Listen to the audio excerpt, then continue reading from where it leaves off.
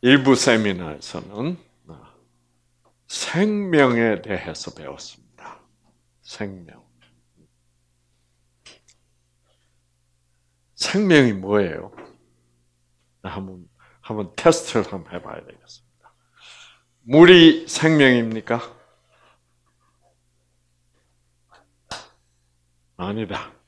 아니다고 말할 사람 손 들어보세요. 물이 물이 생명이 아니다.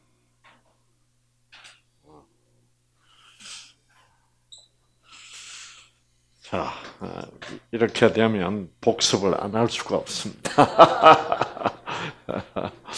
어, 왜냐하면 이분은 이제 하나님의 말씀을 가지고 어, 강의를 할 텐데 예, 그 이유는 성경에 보면 예수님이 내가 곧 길이요 진리요 생명이라고 그랬습니다. 그래서 여러분이 물이 생명이라면 예수님은 물입니다. 생명은 오직 예수님만 생명입니다. 아, 어, 그래서 우리가 성경 공부를 하는 거예요. 아, 자, 그래서 아무래도 여러분이 생명에 대한 아, 그래서 우리가 아, 성경 말씀을 일명 뭐라고 불러요? 무슨 말씀이라고 불러요? 생명의 말씀이라고 부릅니다. 네. 아, 성경 말씀을 생명의 말씀이라고 부르고 또 성경에는 하나님이 말씀으로 병자를 고쳤다 이렇게 되어 있습니다. 그러면 그 말씀이 생명의 말씀이면 하나님은 생명으로 병자를 고친다. 이렇게 되는 거예요. 그렇죠? 어. 그래서 여러분이 하나님을 믿는다고 하면서 어, 어, 또 하나님의 말씀, 성경 말씀을 생명의 말씀이라고 말하면서 물이 생명이다 이렇게 되면 이건 예수를 믿는 건지 안 믿는 건지 예, 모르는 그런 혼동 상태입니다. 그런데 대개가 다 그런 혼동 상태에 들어가 있어요. 아, 그래서 이 생명이라는 개념을 바로 잡아놔야 되겠습니다. 여러분, 현재 상황을 보니까, 아, 생명에 대해서 새로 아, 제가 간단하게 강의를 하고 어, 하나님 말씀으로 들어가야 되겠습니다. 아. 아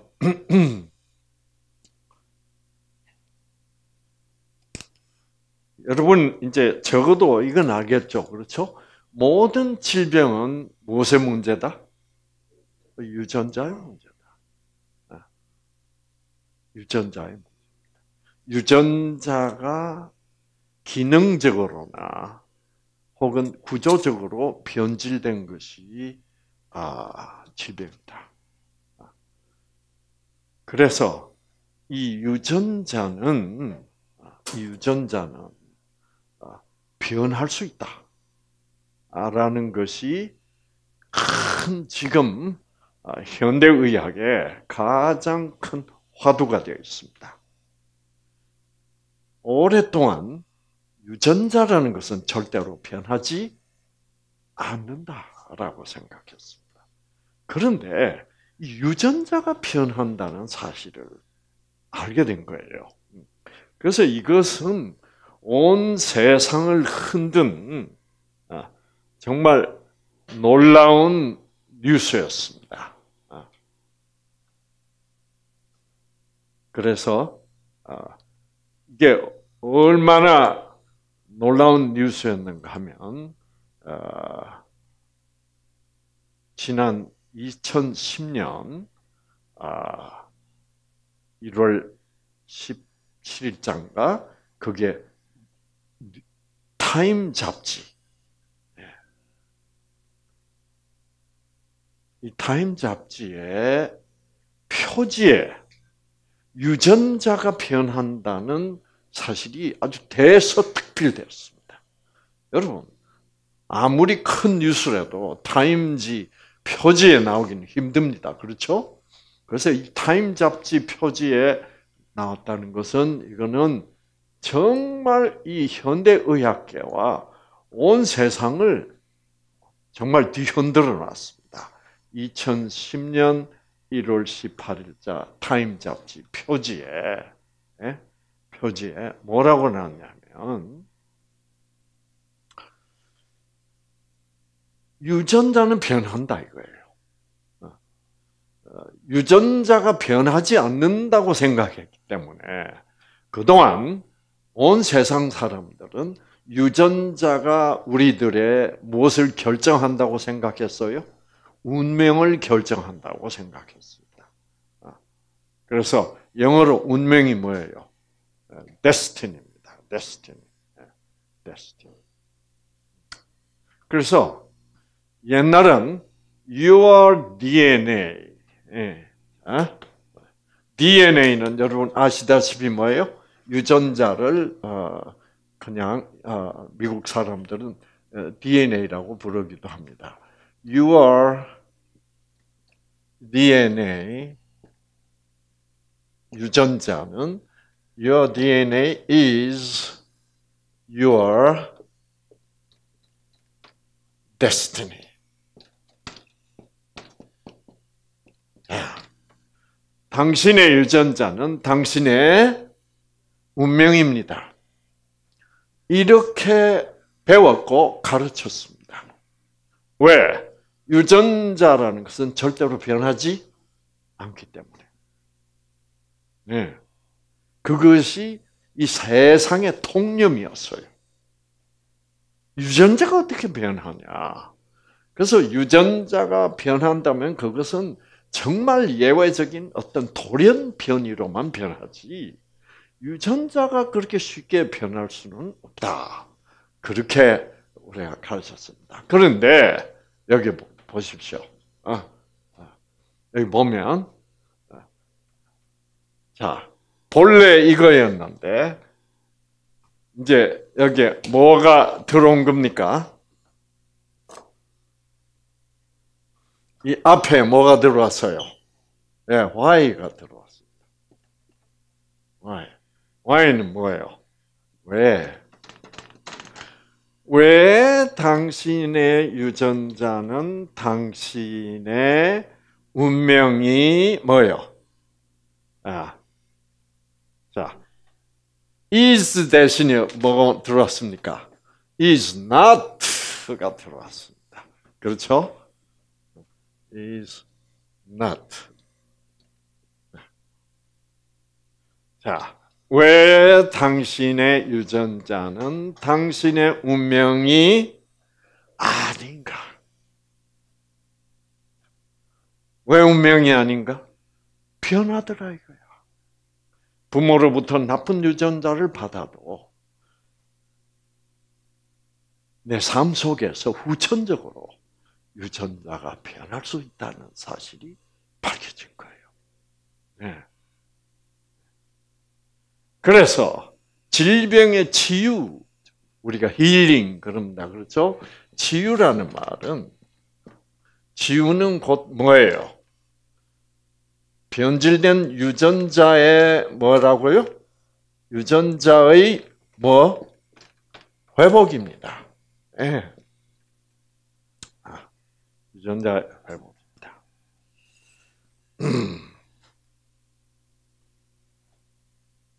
사실 유전자가 변한다는 것은 이런 놀라운 발표가 있기 전에 사실상 충분히 알 수 있었던 겁니다. 네. 아, 뭐냐 하면, 여러분, 집돼지하고 산돼지하고 각계 다르게, 같은 동물이게 다른 동물이게. 본래는 같은 동물입니다. 그런데 그 집돼지를 잡아가지고, 집에서 키우기 시작해서 자꾸 세대가 1세대, 2세대, 3세대 이렇게 넘어가면 점점 산돼지가 무슨 돼지처럼 변해가요? 집돼지처럼 변해갑니다. 네. 산돼지는 이게 길어요. 그리고 뭐가 있어요?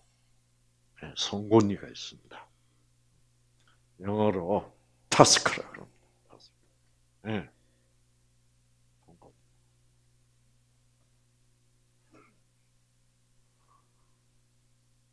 그런데 집돼지는 이거 있어 없어요? 점점 갈수록 작아지고 그러다가 없어집니다. 음.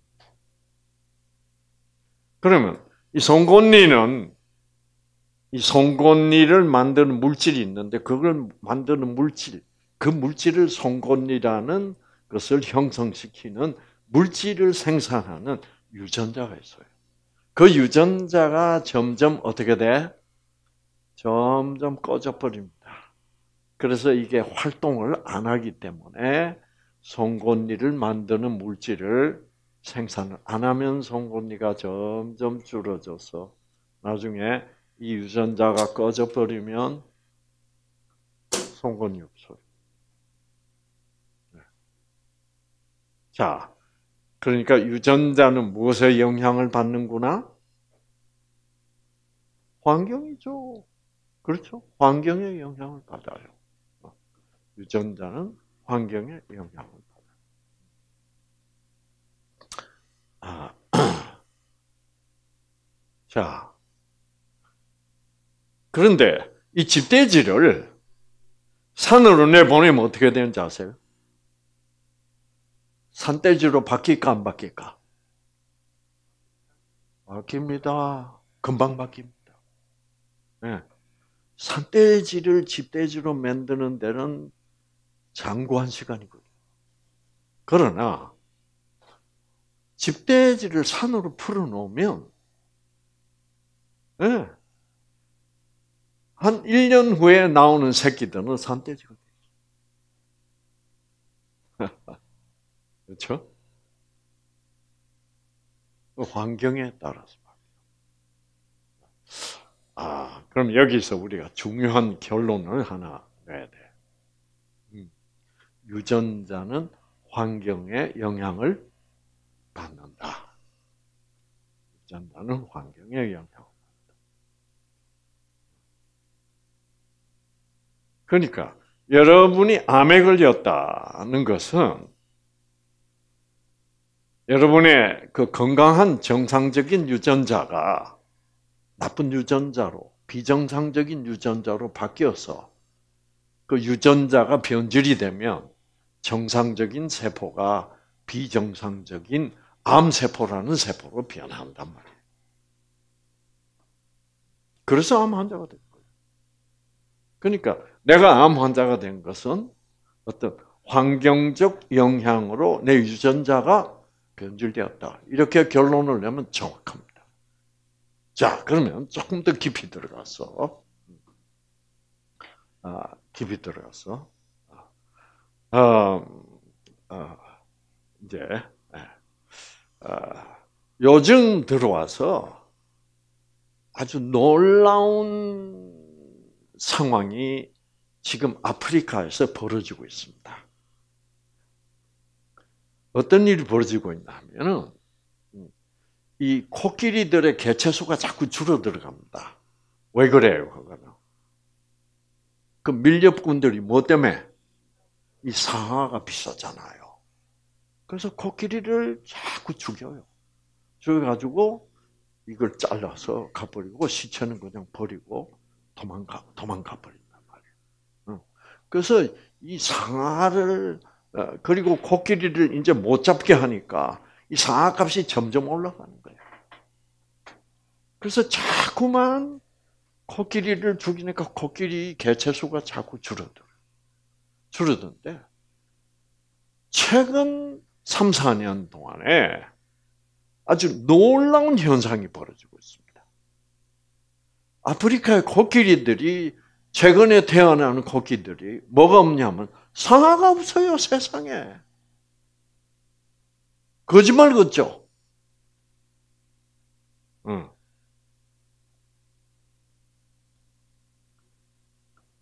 이, 저도 이 경악했습니다. 이게 TV에 방송이 됐어요.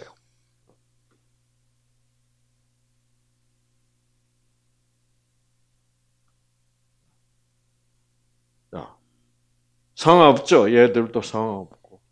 네, 상관없어요. 응. 세상이 어떻게 되려고 이런, 이런 일이 벌어지는지 모르겠어요. 그러면, 어, 자, 산돼지를 집으로 데려다 놓으면 송곳니를 만드는 아, 유전자가 그 환경이 바뀌었기 때문에 꺼진다. 또 환경도 바뀌었을 뿐만 아니라 집에서 이제 가축화되면 이 송곳니가 사실상 별로 필요가 없습니다. 왜? 이건 뭐, 뭐 하려고 있는 거예요? 예, 땅 파서 어, 뿌리도 캐먹고, 뭐 벌레도 잡아먹고, 그러려고 했는데, 뭐, 집에서 키우는 건 뭐예요? 주인이 맨날 밥 갖다 주니까, 어, 이거 소용이 없어요. 어. 자, 그 보세요. 상아가 없어요. 자, 이, 이게 지금 왜 상하가 없어졌겠냐? 여기에 대한 논란이 있습니다.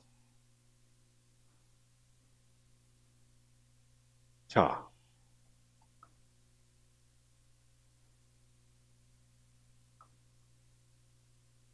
여러분 코끼리들이 굉장히 감성적으로 예민합니다. 아시겠죠? 코끼리들은 아, 자기 동료들이 이제 사자의 습격을 받아가지고 죽잖아요. 그러면 그 나중에 그 죽은 자리에 그 찾아갑니다. 찾아가서 눈물도 흘리고 그래요. 네. 그리고 막 이렇게 애정 표현도 하고 굉장히 그리워하고 마음 아파하고. 어.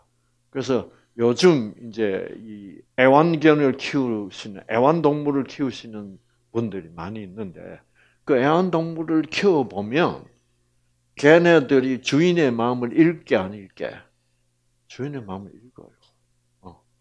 그래서 아, 그런 이런 감성적인 면에서는 서로가 이렇게 느껴요.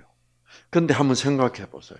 여러분이 코끼리라면, 우리가 다 코끼리라면,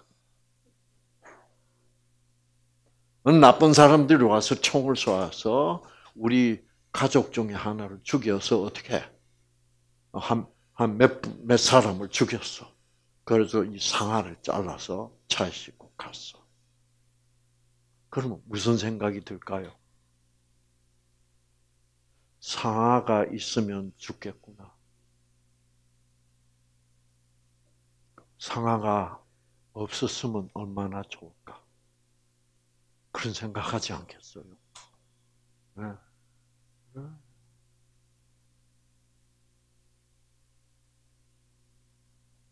자, 그래서 특히 암컷들에게 상아가 안 수컷은 뭐예요? 네, 싸워야 돼요. 네, 그래서 싸우려면 이게 무기가 필요하잖아. 근데 수컷들도 있지만은 암컷들은 요즘 거의 뭐. 자, 그러면 산돼지, 집돼지 얘기는 이것은 아, 무선적 환경입니까? 외부적 환경입니다. 그렇죠? 외부적 환경. 근데 이 코끼리는 외부적 환경은 변했어요, 안 변했어요? 안 변했죠. 외부적 환경 변한 거 없습니다. 계속 그 주위 환경은 동일해. 근데 뭐가 변한 겁니까? 네, 마음이 변한 겁니다. 내면적 환경의 변화가 왔습니다. 아시겠죠? 그래서 어, 이런 우리가 산돼지 집돼지를 보면 유전자의 어, 후천적으로도 유전자의 변화가 온다는 사실을 알 수 있었는데 왜 그토록 음, 그토록 오랫동안 유전자는 절대로 변하지 않는다고 우리 의학계에서 생각을 해왔냐 하면 사실상 우리 의학계에서 유전자에 대해서 잘 몰랐습니다. 자, 그래서 이 유전자가 켜지기도 하고 꺼지기도 한다. 그래서 지금 이 코끼리들의 경우는 이 상아를 만드는 유전자가 어떻게 해요? 완전히 꺼져버린 거예요. 왜? 뭐, 무엇의 변화 때문에? 내면적 환경의 변화. 외면적으로는 변은 하나도 없어요. 네. 참 이거 대단한 발견입니다, 여러분.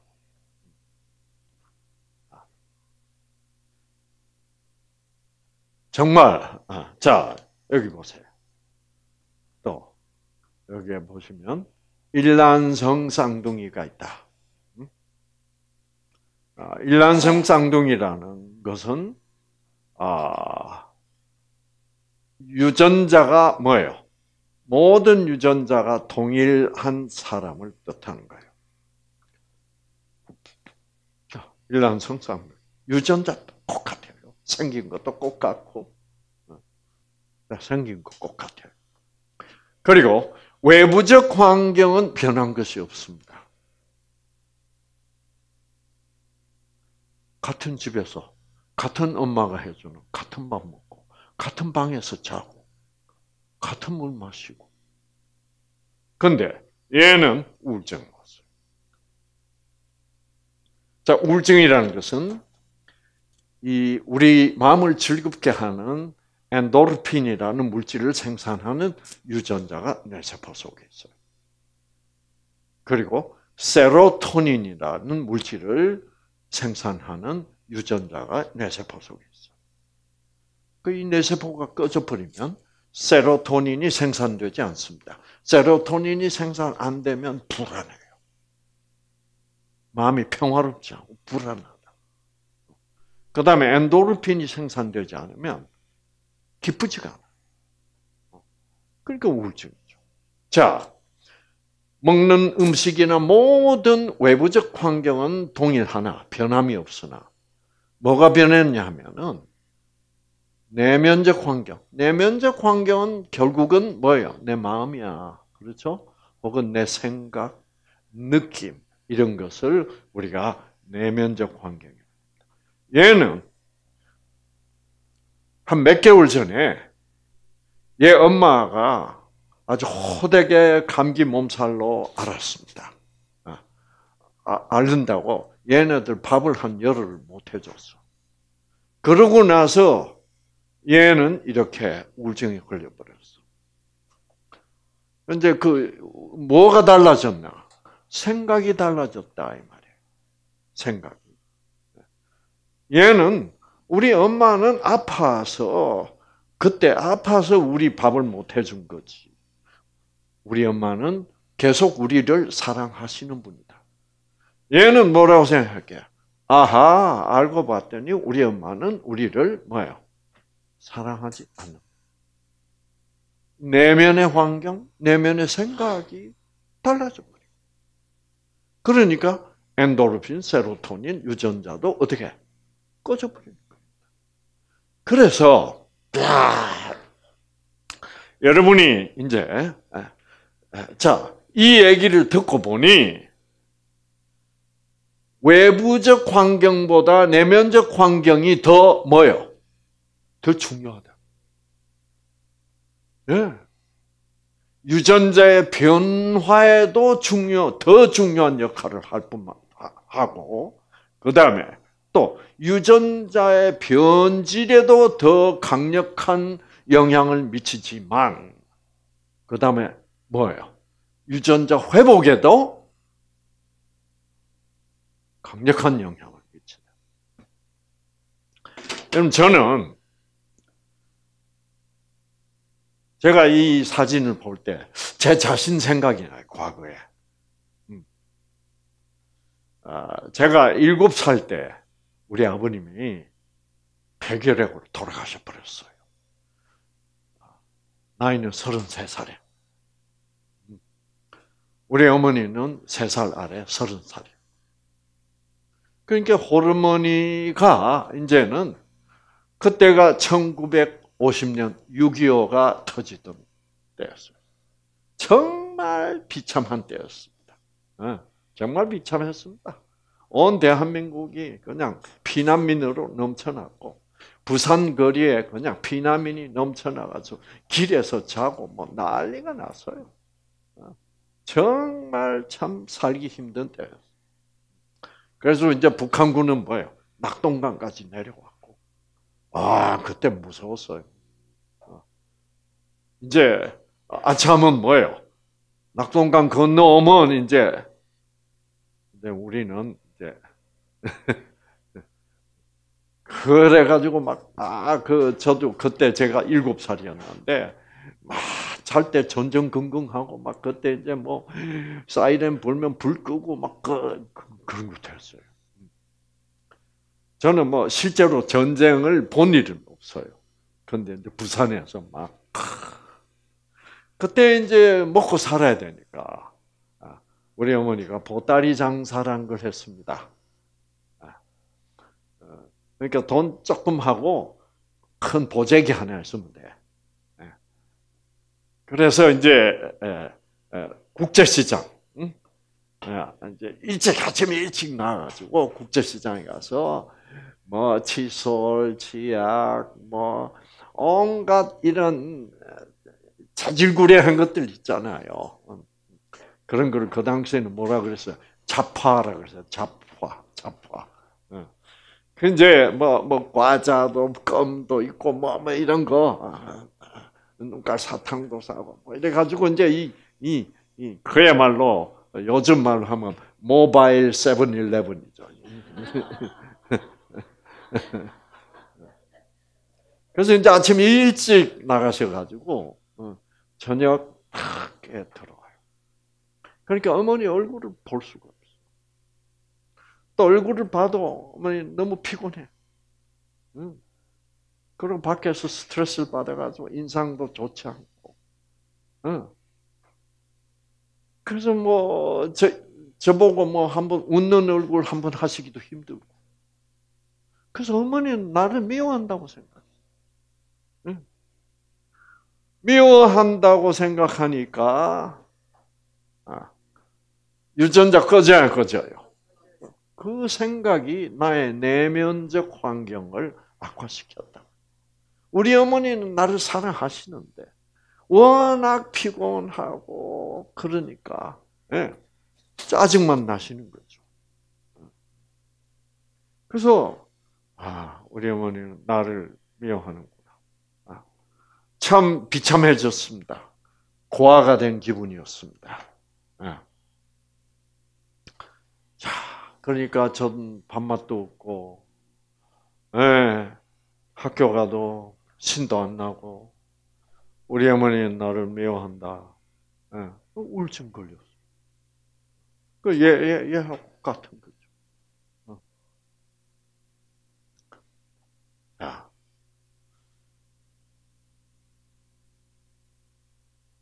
그러니까, 여러분, 그 어린 일곱 살짜리 상구가 뭐가 막혀요? 기가 막히는. 누구를 의지하고 살아가요? 기가 막히는 거예요. 그래서 여기서 우리가 이제 기라는 것이 나옵니다. 그렇죠?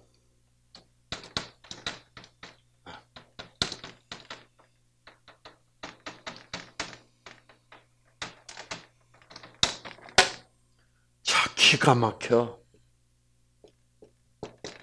기가 막히니까 뭐가 없어요? 생기가 없어. 생기가 없어. 생기가 없으면 유전자 꺼집니다. 아시겠죠? 네. 기가 막히면 유전자 꺼져요. 그렇죠? 네. 얘도 아 우리 엄마가 우리를 사랑하지 않는구나. 얘는 기가 막힌 거. 그 엄마에 대한 뭐예요? 오해예요. 진실이 아니야. 진실은 엄마는 아직도 이 쌍둥이들을 뭐예요? 사랑한다가 진실이에요.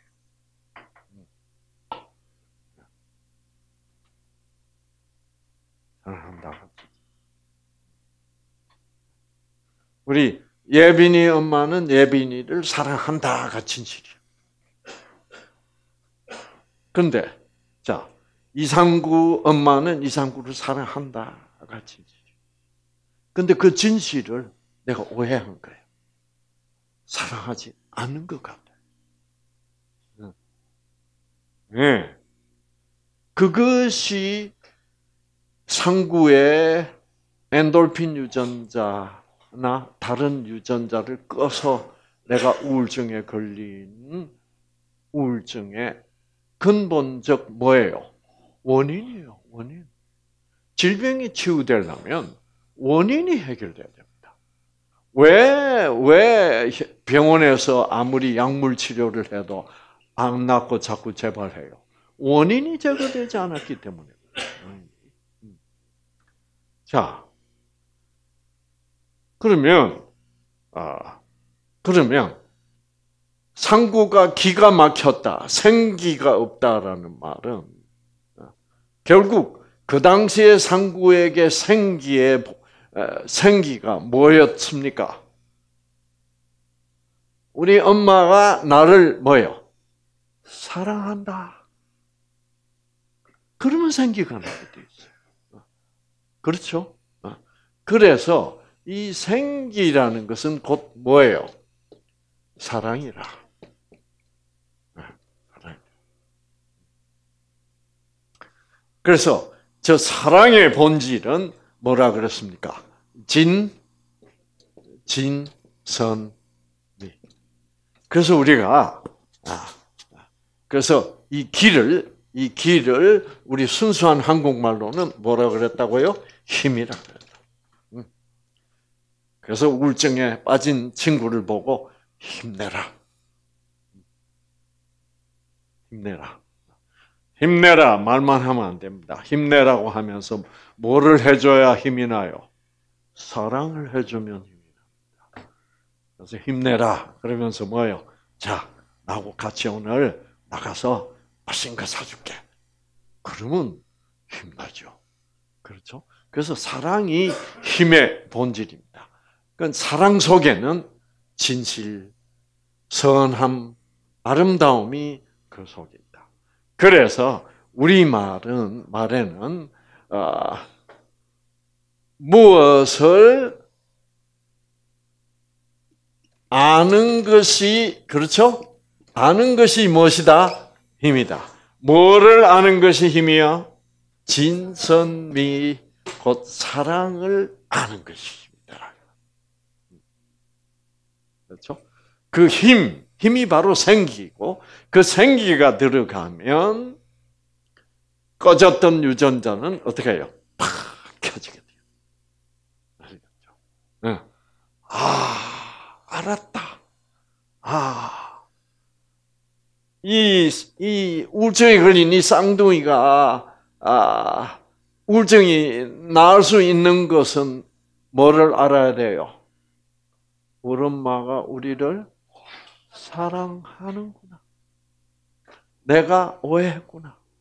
그러면 내면의 환경이 어떻게 확 바뀌면 유전자는 즉시로 켜져. 그래? 그만큼 여러분 이 내면의 환경, 우리의 생각, 우리의 마음, 우리의 느낌 이것이 유전자에 영향을 미치는 것은 막대하다. 음. 그래서 어, 왜이 우리의 생각이 유전자의 영향을 막대하게 미쳐요? 그게 과학적 근거는 뭐예요? 우리가 아름다운 음악을 듣는다. 아름다운 자연. 아, 참 멋있다. 정말 아름답다. 네. 그렇게 되면 뭐가 바뀐다고요? 우리의 뇌파가 바뀌어요. 뇌파가. 음. 잡념에 시달리던 나쁜 뇌파, 베타파가 와 아름답다. 또는 잡념에 시달리던 여러분 자신의 머리가 지금 강의를 들으시면서 아 그렇구나. 그 정말 맞는 말이네. 그 진실을 이를 받아 진실을 깨달아 안 때는 뇌파가 무슨 파가 된다고? 알파파가 된다. 그래서 이 알파파가 되면 우리의 몸을 흐르는 생체 전자파도 다 같이 알파파가 돼가지고 그래서 유전자는 궁극적으로 무엇에 영향을 받는다? 우리 몸 속에 흐르는 전자파의 영향을 받는다. 그래서 여러분이 핸드폰을 너무 오래 써도 이 핸드폰에서 나오는 전자파가 뇌 세포 속에 있는 유전자를 변질시킬 수 있어요. 음. 그래서 우리가 자꾸 어? 예, 이렇게 한 뼘 통한지 이렇게 예, 좀 떨어뜨려서 거리를 두고 하라 그러잖아. 음. 자, 그래서 과학적으로도 우리 뇌파의 변화는 결국 유전자의 변화를 초래합니다. 나쁜 뇌파, 베타파, 감마파가 흐를 때는 유전자는 나쁘게 변질되고 어, 그 나쁜 뇌파가 좋은 뇌파, 알파파로 회복이 되면 내 유전자도 회복이 되게. 참 놀랍죠. 그러니까 외부적 환경도 중요한 건 사실이지만 유전자에 가장 결정적으로 영향을 미치는 것은 내면적 환경이다. 자, 그렇다면 하나님이 말씀으로 병자를 고친다는 말이 맞아떨어져야 안 맞아떨어져요? 맞아떨어지는 거죠. 왜? 하나님은 왜 하나님의 말씀이 병자를 고칠 수 있다? 하나님의 하나님은 어, 어떤 분이니까? 하나님은 사랑이시니까. 사랑 속에 진선미가 있으니까. 그래서 여러분이 성경 말씀을 배우면서 와, 이 말씀이 옳은 말씀이구나. 아, 과연 하나님은 사랑이시구나. 이것을 깨달을 때 여러분이 생기가 넘치게 되고 그 생기로 말미암아 꺼졌던 유전자가 다시 켜져서 병이 치유가 되고 그래서 그 말씀을 그 생기를 주는 말씀을 우리는 생명의 말씀이라고 부른다. 이거죠. 그래서 여러분, 음. 그래서 아, 제가 그 우울증에 꽉 빠져 있을 때, 예. 어느 날 밤에 예, 제가 추웠어요. 자다 보니까 너무 춥더라고. 근데 보니까 내가 이불을 차버렸어. 그런데 그 이불을 일어나서 이불을 다시 뭐요? 덮고 자면 될 텐데 너무너무너무너무 졸려서 그러기도 싫은 거 그런 거 있잖아요. 여러분 다 경험해 보셨을 거예요. 그래서 이제 웅크리고 아 춥다 춥다. 어, 아, 이불 땡겨서 덮어야 될 텐데, 그러기는 싫다. 뭐 이런 거, 어. 그러고 있었어요. 그런데 여러분, 놀랍게도 그 이불이 싹 와서 덮여요. 어. 왜 덮였게, 이불이? 아, 엄마가 들어와서 엄마가 왔어요. 근데 전 자느라고 엄마가 들어온 줄도 모르고 또 깜깜했기 때문에 예. 그때는요 전기불도 별로 없어가지고 그때 석유 뭐요 호롱불이어서 그래서 석유 사러 가고 그 호롱불 그 심지가 타면 가위로 뭐요 잘라내고 그런 거 했어요 우리. 예. 그러니까 불도 마음대로 못 켜고 어. 어 석유도 그때 뭐 너무 가난해서 사기 힘들어. 그래서 깜깜했죠. 어. 그 바깥에도 전기불 없고, 그러니까 밤 되면 깜깜한 거야. 어. 근데 우리 어머니가 이제 늦게 들어오셔가지고, 제가 이러고 자니까 이 불쌍한 자식, 어? 이불 덮어줍니다. 근데 저는 그게 꿈속인 것 같았어요. 꿈속인 거. 여러분, 성경 보면 아, 비슷한 얘기가 또 있습니다. 보시면 아, 마태복음 8장에 보시면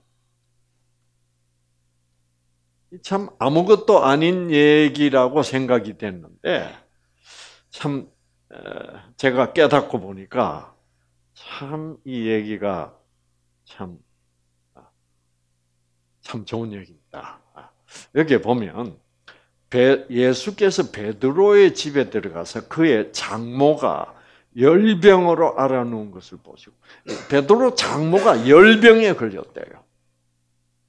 열병이라는 병은 요새 말로 하면 폐혈증이라는 병입니다. 네, 무서운 병이에요. 어, 그때도 무서운 병이었지만 어, 요즘도 열병에 걸리면 폐혈증에 걸리면 10중 8구 죽어요. 네, 살아나기 힘들어요. 그 이제 이건 뭐냐면 폐혈이라는 것은 피가 썩는 병이라는 거예요. 피가 썩는다는 말은 무슨 말이냐면 피 속에 병균들이 박테리아들이 우글거리는 병이다. 근데 그 보통 애지간해서 그런 현상이 일어나지 않는데 면역력이 극도로 떨어지면 그렇게 됩니다. 그래서 요즘 폐혈증에 걸리는 사람들은 어떤 사람이 걸리느냐 하면 아, 아, 주로 폐혈증에 걸려서 죽는 사람들이 암 치료 때문에 그래요. 암 치료를 자꾸 반복하고 재발하고 반복하고 재발하고 또 항암 치료 받고 하다 보니까 면역력이 어떻게 돼요? 하, 약해. 너무너무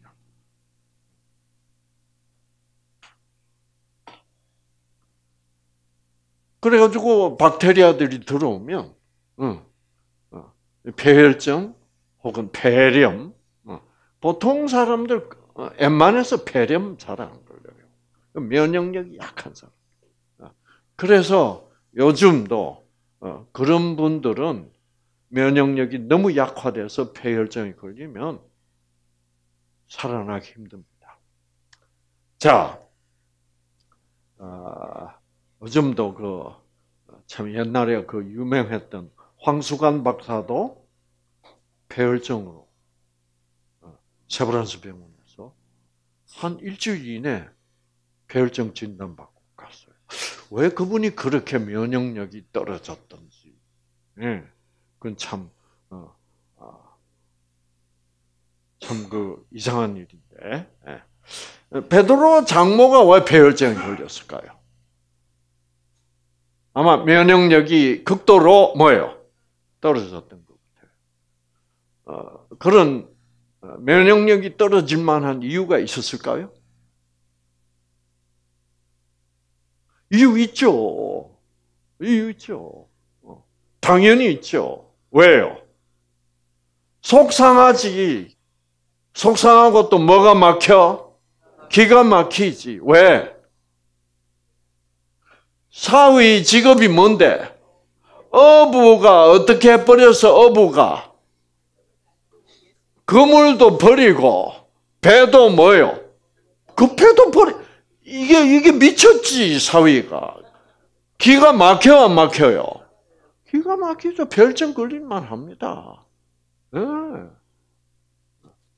그러니 딸은 뭐라 그러겠습니까? 어, 쌀 떨어졌다고 울어 쌀 끄고 그러니까 엄마가 이게 열 받어 안 받어 장모가 돼가지고 그 당연히 충분히 베드로 장모가 열 받을 만한 어, 이유는 충분해요. 어, 그래서 옛날에는 그 베드로는 그 갈릴리 지역에서 최고의 어부였어. 고기 제일 잘 잡아. 그래가지고 베드로 장모가 폼 잡고 댕겼다고요. 어, 미장원에 가도 하, 사람들이 부러워하고 그런데 베드로가 예수님을 만나고부터는 이게 헷가닥 해가지고 그 미친 거예요. 여러분, 여러분 믿음이란 것은 제가 요즘 이렇게 생각하면 그게 일종의 미친 거예요. 어, 제가 왜 이 이 이 베드로 장모의 심정을 왜 잘 아는지 아십니까? 우리 어머니가 그랬어요. 어, 제가 미국서 개업하면서 돈 잘 벌고 벤츠 타고 막, 막 호화롭게 막 살 때는 우리 어머니가 폼 잡았다고요. 어, 어, 어, 그, 그러면, 아, 당신은 뭐, 그래서 우리 어머니 미국 오셔가지고, 음, 벤츠 태워가지고 사진 찍고, 어, 그때는 이런, 요즘처럼 핸드폰 사진 없었죠. 그때는 폴라로이드. 탁 찍어서 쫙 사진 나오는 거 있잖아요. 제가 이제 그 들고 가서 이제 한국 오셔 가지고 친구들한테 뭐요? 발에 이게 벤츠란다. 이러니만 우리 어머니 살만 났어 안 났어? 살만 났어요. 그렇게 자랑스럽던 아들이 해가닥 해가지고 산에 들어가서 뉴스타 탄대. 월급은 얼마 받고? 70만 원 받고. 돌았죠. 그래서 우리 어머니 많이 아팠어요. 그래서 제가 베드로 장모 기분을 아, 잘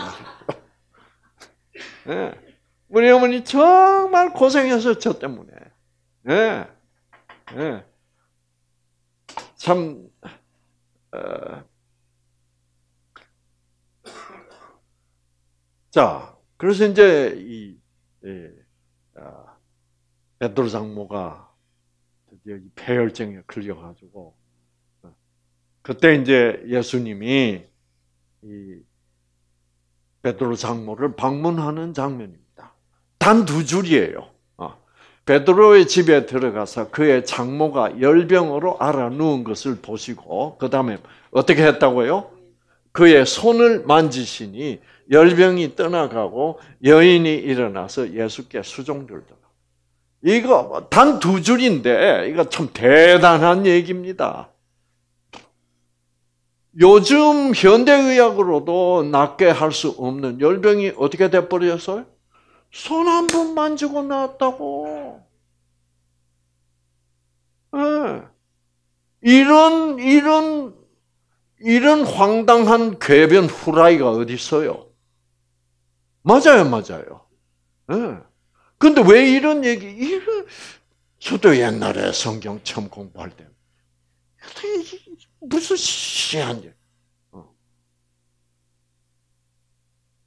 자, 이거는 열병이 난 얘기고, 또 성경 보면 이거보다 더한 얘기도 있죠. 왜요? 죽은 애기 살리는 거. 그렇죠? 자, 예수님이 하나님이 말씀으로 베드로 어, 자 이건 말씀도 안 했어요. 어, 어 떻게 했는데 손 한 번 만졌. 그 이거를 잘 이해를 해야 돼요. 어, 이게 뭐, 그러니까 베드로 장모가 이 면역력이 떨어져서 이 폐혈증에 걸리게 된 이유는 내면적 환경의 악화입니다. 그렇죠? 예. 네. 막 예수가 너무 미워. 누구도 밉지만, 네, 사위도 밉지만, 그 사위를 뭐요? 핵가닥하게 한 예수가 더 미워. 어, 그래서 어, 제 생각에는 이 여자들은 미우면 못 참으니까 해야 돼. 그렇죠. 그러니까 미장원에 가서도 막, 막 예수를 막 중상모략을 하고 막 나쁜 말 지어내서 하고 막 예, 시장 가서도 하고 막 어. 아마 정말 못할 말들 많이 했겠죠. 어, 어, 뭐 화가 머리 끝까지 나니까. 음. 자, 그런 사실을 예수님은 다 아실까 모르실까? 다 알죠. 그런 응? 그런 못된 년이 열병에 걸렸다. 폐혈증에 걸렸다. 예수님이 그 못된 년을 찾아가야 될 이유 있어요? 그런 년은 뭐예요? 죽어야 돼. 그것이 우리들의 일반적인 정서입니다. 근데 성경이 보여주는 것은 그럼에도 불구하고 예수님은 뭐예요? 찾아가는 거예요. 이제 이런 것에서 하나님에 대한 여러분의 개념의 변화가 와야 된다. 근데 보통 그런, 이런 게 보여, 안 보여요? 안 보여요. 아니, 뭐, 뭐, 이런 시시한 얘기. 근데 이거를 잘 깊이 보면, 야 내가, 나를 그렇게 욕하던 놈을 내가, 그 놈이 교통사고 나서 병원에 있는데, 찾아가는가? 찾아가고 싶어 한가? 안 가? 그러나 예수님은 그런 분이 아니다. 그래서 어, 성경 보면 죄가 많을수록 죄가 많은 곳에 뭐를 더 하시는 분이다? 은혜를 더 사랑을 더 하시는 분. 이런 우리 생각에는 얼토당토 않는 그런 놀라운 사랑을 주시는 분이 결국 하나님인데 그 사랑이 바로 뭐다? 생기다 이 말이에요. 네. 이거를 알자는 거예요. 우리 인생에서 이, 이 진리를 빨리 회복해야 돼. 그래야 내 건강을 회복할 수 있어요. 자, 예수님이 들어갔어. 여러분, 열이 40도, 뭐 폐혈증 걸리면 열이 40도, 41도 막 이렇게 올라가요. 어. 그러면요 어떻게 돼요? 정신이 혼미해집니다. 정신 못 차려요. 막 부들부들 떨고 막, 막 하고 막 몰라요. 거의 반혼수 상태. 예수님이 그 알아놓은 것을 보시고, 보시고, 그 다음에 보시고, 어떻게 했다? 그의 손을 만지시. 자기를 그렇게 욕했던, 미워하고, 그 늙은, 어? 한 여인의 손을 잡으시오. 자, 이런, 이런 그 성경에서 여러분이 가질 수 있는 느낌, 아, 이런 베드로 장모같이 그렇게 예수를 미워한 그 사람이 이렇게 아플 때 와서 뭐예요? 손을 만지신다. 손을 만지신다는 말은 무슨 말이에요? 사랑의 표현이지. 그리고 죽어버려라 혹은 나라. 나라는 표현이에요. 병 나라. 네. 이제 이런 것을 우리가 느끼라고 성경은 이런 걸 기록하고 있는 거예요. 근데 우리는 이게 시시한 얘기라고. 그래서 저한테는 이 얘기가 참 가슴에 와닿았습니다. 왜냐하면 그날 밤 우리 어머니가 들어와서 이불을 쫙 덮어줬어. 근데 저는 우리 어머니라는 생각은 안 했어요. 우리 어머니가 그럴 리가 뭐요? 없다라고 생각했어. 우리 어머니는 나를 사랑하지 않는 분인데, 우리 어머니가 내 이불을, 어, 이불을 다시 덮어줄 리가 없다고 생각. 그러면서 그게 꿈속에서 일어나는 무슨 어, 환상 같았어요. 그러더니 누구 우리 어머니가 이제 제 머리를 만지시고 볼도 만져보고 그래. 근데 그건 우리 어머니라고 저는 생각을 안 했어. 않고 뭐라고 생각했냐면 꿈에 꿈에 누군지 모르겠지만은 나를 그렇게 쓰다듬어 주고 있는 거야. 그래서 저는 뭐라고 생각할게? 이 사람이 누군지는 모르겠지만은 우리 어머니였으면 얼마나 좋을까라고 생각해. 그 사람이 어머니인데도. 음. 어.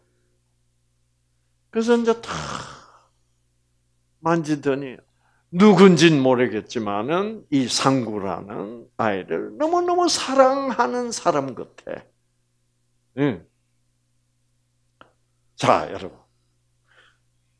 자, 예수님이 이 지금 고열로 막 어, 거의 반혼수 상태에서 막 부들부들 떨고 막 땀을 뻘뻘 흘리면서 있는 그 죽어가는 베드로 장문 아 이러다가 난 죽어가는구나 그러면서 베드로 장모의 생각은 어떤 생각이겠습니까?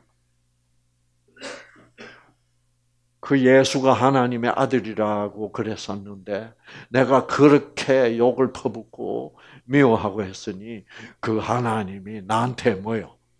천벌을 내려서 나를 죽인다고 생각했겠 그게 베드로 장모가 가지고 있던 하나님에 대한 생각이었어요. 그런데 실제 하나님의 아들 예수는 와서 베드로 장모의 손을 만져 주고 있어. 근데 베드로 장모는 지금 이 사람이 누군지는 모르겠어. 그런데 어?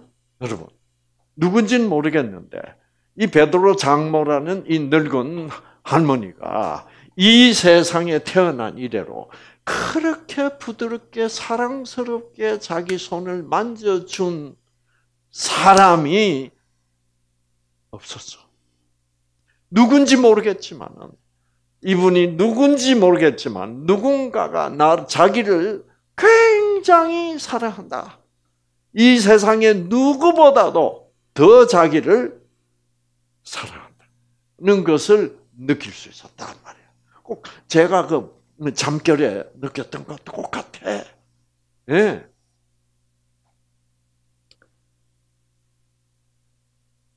자, 그래서 사랑을 느끼니까 어떻게 됐겠습니까?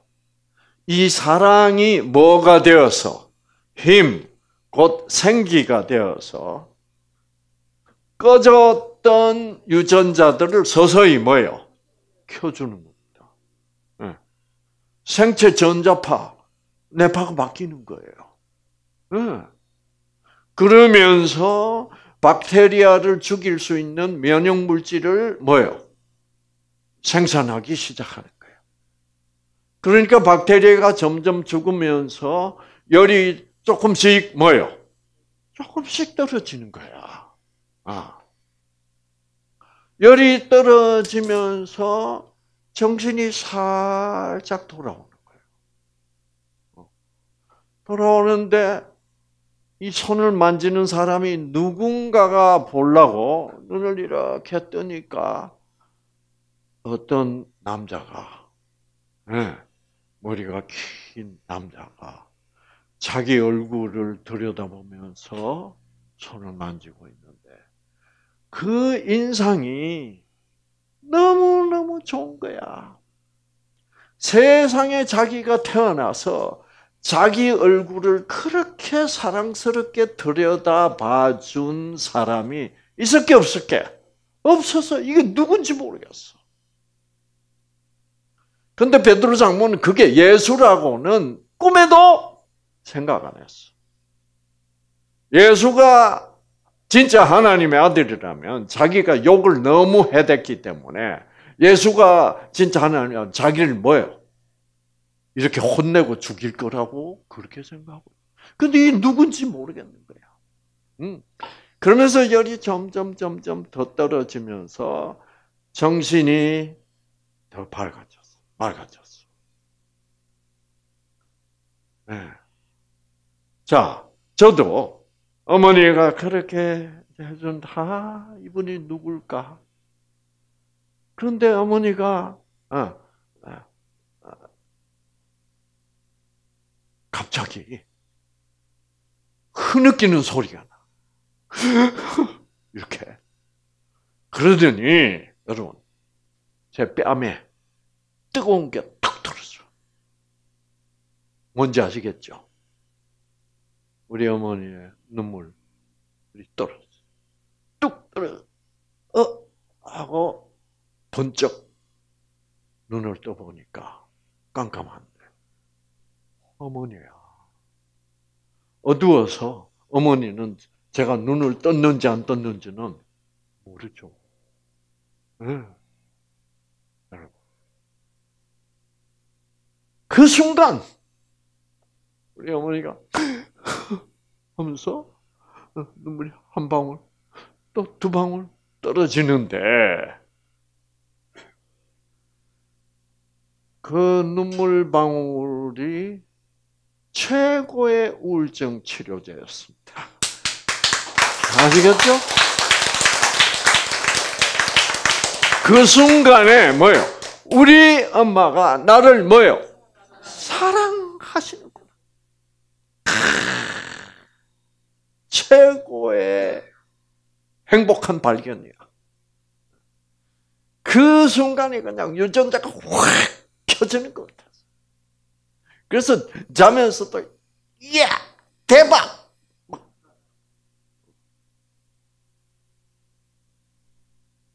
근데 이제 우리 어머니 피곤하니까 그러고는 옆에 누워서 주무시고 다음날 아침에 보니까 우리 어머니는 또 벌써 나가시고 그러나 그 다음날 상구는 뭐예요? 이야 우리 엄마가 나를 사랑한다고 응? 그럼 외부의 환경 변해서 안 변했어요? 안 변했어요. 그러나 그 심각했던 상구의 우울증은 확 치유가. 그래서 여러분, 여러분의 어머니보다, 여러분의 아버지보다, 여러분을, 여러분에게 더 중요하신 분이 있는데, 그분이 누구요? 하나님이요, 사실은. 네. 그 하나님이 여러분을 얼마나 사랑하신다는 것을 여러분이 진짜로 느낀다면, 유전자의 변화 올까 안 올까? 온다고요. 네. 네. 그래서 이 베드로 장모도 장모도 아 열이 점점 떨어지면서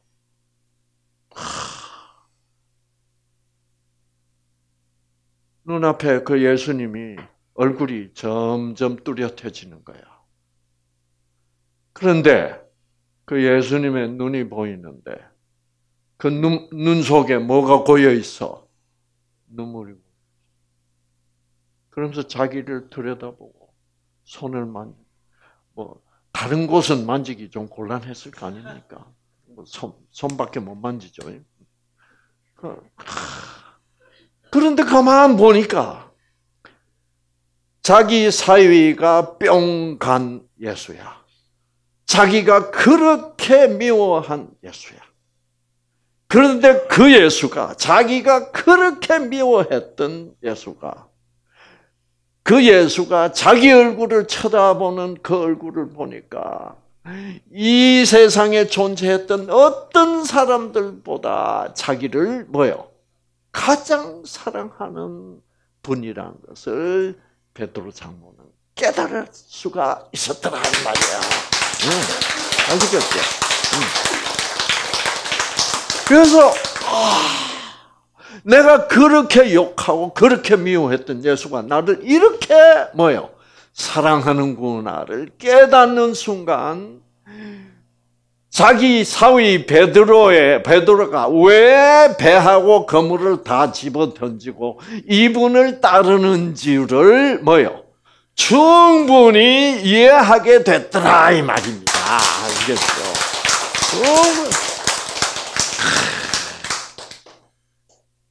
그래서 막 그러니까 뭐 유전자가 어떻게 됐겠어?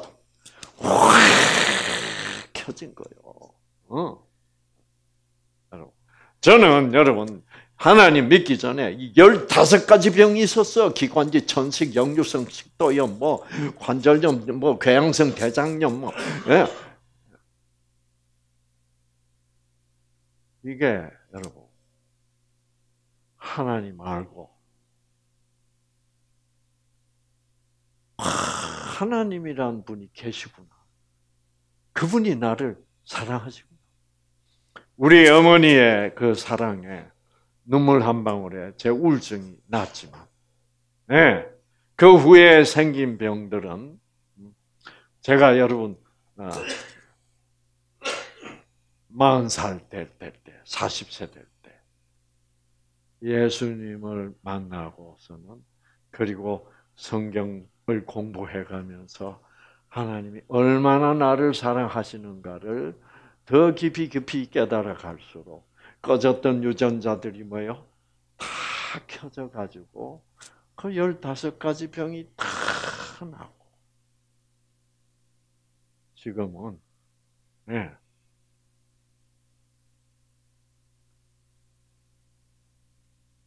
이제 70대 중간을 넘어가고 있습니다. 아시겠죠? 네. 음? 그러면서 이 몸에 하나도 병이 뭐예요? 없다는 거야 지금. 음. 그래서 여러분 하나님의 사랑이 생기다. 그 생기가 바로 우리를 살아있게 하는 에너지, 생명 에너지. 그렇죠? 그 생명은 결국은 누구의 사랑이에요? 하나님의 사랑. 그래서 그래서 우리가 2부 세미나를 꼭 해야 된다 이 말이에요. 아시겠죠? 네. 네. 네. 그래서 2부 세미나에서 정말 성경을 중심으로 해서 이 성경 속에 나타난 하나님의 사랑. 그래서 여러분, 저는 이, 이, 이 성경을 자꾸 공부를 지금, 지금도 계속하고 있는데, 볼수록 자꾸 자꾸, 자꾸 자꾸 더 깊이 더 새롭게 그래서 옛날에 몰랐던 것도 또 깨닫게 돼요. 음. 그래서 여러분, 아, 아, 2부 세미나 우리 아, 정말 아, 내가 곧 길이요, 진리요, 생명이요. 왜 예수님이 생명인가? 그 예수님은 사랑이기 때문이다. 그분의 사랑은 어떤 사랑인가? 어떻게 이 세상에서 나타내 보였는가? 그것을 여러분이 알수록 그것이야말로 여러분이 앓고 계신 어떤 질병이든지 예, 회복시킬 수 있는 생명이다. 유전자는 분명히 환경에 영향을 받아서 변한다. 근데 그 환경 중에 더 중요한 환경은 결국은 뭐예요? 내면적 환경. 여러분의 내면에 하나님은 사랑이시라는 그 예수님이 들어올 때 여러분의 내면적 환경은 확 바뀝니다. 음. 여러분 오늘 아침에 우리가 졸업식을 했는데 16살 먹은 16살 먹은 아, 아주 참 이쁘게 생긴 공부도 잘하고 어, 그런 여자아이가 거식증에 걸려서 왔어요. 거식증이란 병은 이런 병입니다. 참 무서운 병이에요. 정말 낫기 힘든 병이에요. 아. 밥을 안 먹는 거예요. 밥을. 음식을 안 먹어요. 다 거부해. 그래서 먹는 것을 거부하는 병이라고 해서 거식증이라고. 왜? 살찔까봐. 살찔까봐. 그러니까 네, 이 살찌는 데 대한 노이로제 걸린 거예요. 공포증이 걸려요. 그래가지고 음식이 입에 하나라도 들어가면 살이 푹찐것 같은 그런 이상한 생각을 하고 있는 겁니다. 그래가지고 어, 그래가지고 옆에서 보면요. 빼짝 말랐어요. 말랐는데 자기는 뭐라고 생각하는 거예요? 뚱뚱하다고 생각하는 거야. 자, 보세요. 자, 이렇게 뼈하고 가죽밖에 안 남아가지고 체중을 실제로 재보면 36kg밖에 안 나가는데 거울을 보면 뭐예요? 86kg로 보이는 거야. 자기 눈에는.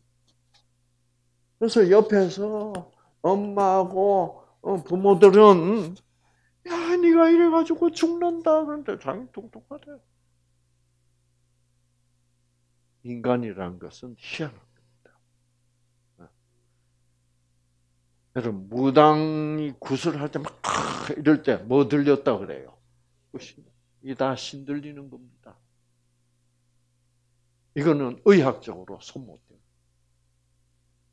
신들린 그 무슨 신 들린 거예요, 그거야? 무당한테 들린 드는 신이 무슨 신이요? 잡신이죠. 잡신들이요.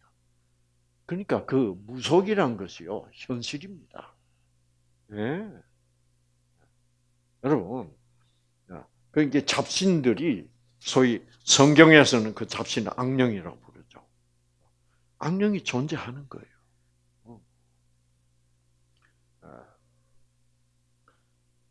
어. 그래서 그래서 자기는 자기 또 86kg래. 안 먹어. 옆에서 보면 미칠 노릇이죠. 그 이게 신들려 가지고 뭐 나간 거요? 정신 나간 거죠. 네. 그래서 이 병은 어떻게 하면 나아요? 정신이 들면 나아요. 정신이 뭐게? 정신이란 게 뭡니까? 정신이 바로 우리 한국 사람들이 알고 있는 하나님입니다. 응. 정신이 우리 의식이 아닙니다. 우리는 정신을 의식이라고 생각해서 정신 없으면 뭐예요? 의식 없이 쓰러졌을 때 정신이 없, 다고 그러죠. 어, 그러나 그것도 정신이 없는 거고 사실은 의식이 있어도 저 정신 나간 놈이라 그래요, 안 그래요? 네. 그러니까 그것은 뭐예요? 생각을 얘기하는 거예요. 올바른 생각이냐? 틀린 생각. 그 생각은 영적인 지배를 받고 있어요. 그래서, 그래서 보세요. 정신, 그건 뭐예요? 신자가 무슨 신자예요? 어, 신이에요. 정신할 때 신자야. 정자는 무슨 정?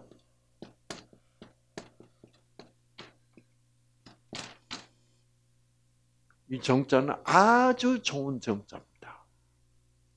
이 정자의 뜻은 부드럽다, 곱다, 네, 거칠지 않다. 거칠지 않다는 말은 요즘 한국말 하면 무슨 말인지 아세요? 까칠한 분이 아니다. 부드럽고 고운. 그래서 밀을 갈아서 그거를 정성, 정성스럽다는 뜻도 있습니다. 정성스럽게 그거를 빻으면 어떻게 돼? 고운 부드러운 가루.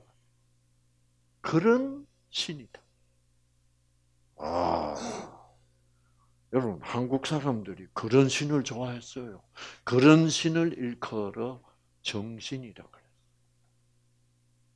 그래서 아, 그래서 그 다음에 가장 청결하다, 깨끗한 신이다. 가장 총명한 신이다. 네. 그런 뜻입니다. 그래서 그래서 우리 한국 사람들에게는 아, 정신이 있고 그 다음에 뭐가 있다? 잡신이 있다. 그래서 우리가 살려면은 무엇이 들어서 살아야 된다? 정신이 들어와서 살아야 돼. 그런데 어쩌다 보면 정신 들었다고 정신 나간 놈 있어요, 없어요? 어, 정신 빼앗긴 놈도 있고, 정신이, 예. 그 보세요. 그래서 어, 그 정신 이게 그래서 저는 이 정신이라고 더 이상 안 부르고 정신님이라고 부릅니다. 이게 하, 한국 사람들이 알았던 신이야. 근데 세월이 흘러가면서 그 개념이 없어져 버린 거예요. 참 정신님이란 말, 예, 이게 좋습니다.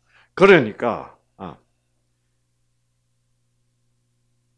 얘는 뭐가 없는 거요? 예? 예, 뭐가 없는 거요? 정신 없는 거예요, 정신. 여러분, 내가 엄마하고 와서 강의를 열심히 들어. 그랬더니 오늘 나와서 뭐라 그런지 알아요? 자기가 이런 병에 걸린 것은 사랑을 받기만 원하고 남의 관심을 끌기만 원하고 네. 자기가 사랑받기만 원해서 이런 병에 걸렸다는 것을 알았던 거야. 그래서 지금부터 중요한 것은 이제는 사랑을 받으려고 애쓰지 말고 주려고 애쓰면 이 병은 뭐예요? 낫겠다는 것을 깨달았다. 정신 들었어. 정신 들었어. 16살짜리. 응. 여러분, 저는 오늘 개 하는 얘기를 듣고, 내가 절대로 안 늙어야지. 그렇죠? 응. 계속 이 일을 해야지. 걔가 어떻게 해서 왔냐면, 한 5개월 전에 10살짜리 세상에 10살짜리가 거식장에 걸렸어. 10살짜리가. 그래 가지고 병원 입원실에서 같은 방에 있었던 거야. 근데 그 10살짜리가 와서 그렇게 강의를 잘 들어요. 그리고 저하고 이제 앉아서 상담도 하고 이래. 그러니까 뭘 받으냐? 아하, 내 속에 지금 잡신이 들어와 있구나. 잡신을 쫓아낼 수 있는 신은 무슨 신밖에 없어요? 정신님밖에. 그 정신님은 성경에 있는 예수님이 정신님. 그 예수님을 받아들이고 세상에 10살짜리가 거식증, 안 낫기로 유명합니다. 싹 다 나버린 거예요. 그래 가지고 한 방에 있던 환우죠. 그렇죠? 가봐라. 그래서 온 거예요. 야,